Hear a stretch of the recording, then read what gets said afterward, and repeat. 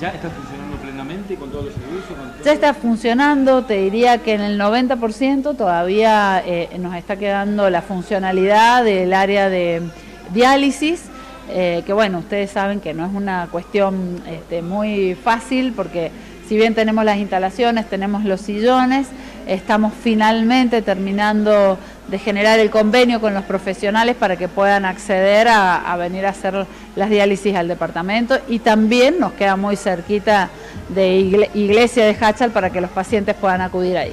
Siendo la primer mujer ministra eh, del Ministerio de Salud. La verdad que se han logrado numerosas cosas, desde tener un, plan de salud, porque antes no teníamos plan de salud, saber a dónde ir, con objetivos que se han logrado, con programas exitosos, como también ustedes sabrán, no solo provinciales, sino que además hoy hay una ley nacional que son nuestros primeros mil días. La verdad que desde San Juan como cuna de, muchos proyectos ha sido muy este, bien valorada eh, a nivel nacional, hemos eh, sacado numerosos premios, inclusive internacionales, porque el trabajo realmente se ha visto eh, evidenciado con equipos muy especializados y capacitados. No es un tema menor poder contar con profesionales que estén capacitados para la gestión, la verdad que para mí es un gran orgullo. Imagino igual que le habrán quedado cosas pendientes.